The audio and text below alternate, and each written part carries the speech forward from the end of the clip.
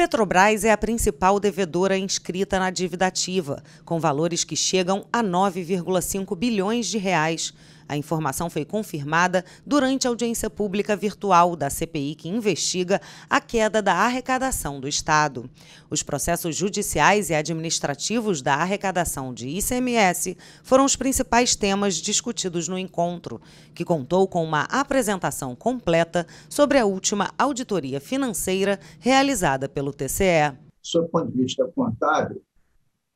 é necessário que todos os membros da CPI e todos os partícipes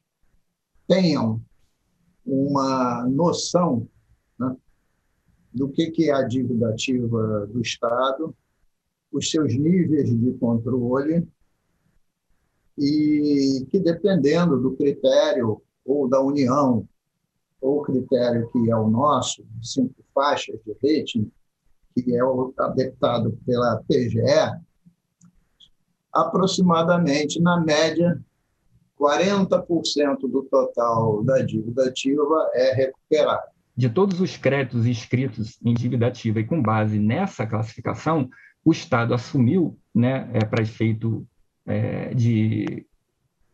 para efeito assim de demonstração, para demonstrar no seu balanço daquilo que o Estado tem a expectativa de receber dos seus credores inscritos em dívida ativa, 40 dos 118 bilhões, o Estado se analisou que tem a expectativa de receber 45 bilhões, ou seja, 72 bilhões o Estado está divulgando essa informação né, para os usuários da informação, é, que ele não tem expectativa de receber esse valor. O procurador Paulo Henrique Meiner disse que a Petrobras tem aproximadamente 252 ações judiciais, sendo 181 certidões da dívida ativa, referentes a 9,5 bilhões de reais que não foram pagos ao Estado. São 181 certidões, no valor total de 9 bilhões de reais, 9 bilhões e meio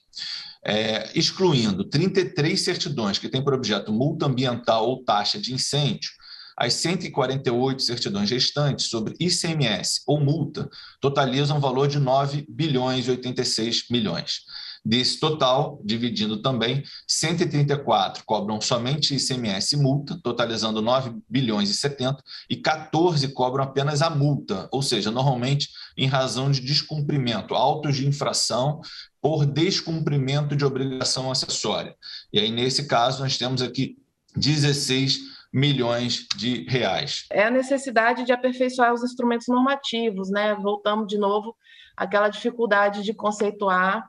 é, o devedor quanto mais e estabelecer um processo administrativo mais rigoroso né, para esse tipo de, de situação, que possam ser aplicadas sanções é, que tenham alguma eficácia, né, e no desestímulo desse, desse abuso né, de recorrer sempre ao Poder Judiciário. O representante da Petrobras disse que o recolhimento de ICMS da empresa nos últimos 10 anos foi de quase 50 bilhões de reais e que uma análise interna questiona esse valor de 9,5 bilhões de reais inscrito na dívida ativa. O valor reconhecidamente devido é aquele mencionado no meu, na minha apresentação, adicionando aí cerca de 150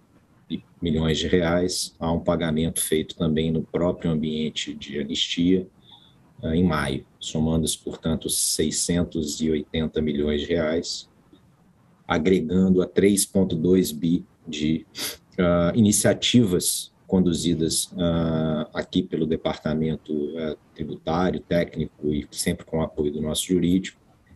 é, encerrando essas contingências e efetivamente aquelas que a gente não depositava confiança dentro dessa avaliação que a gente julga necessário ser realizada. O presidente da CPI, deputado Luiz Paulo, vai encaminhar alguns questionamentos para a Petrobras que serão esclarecidos na próxima audiência pública.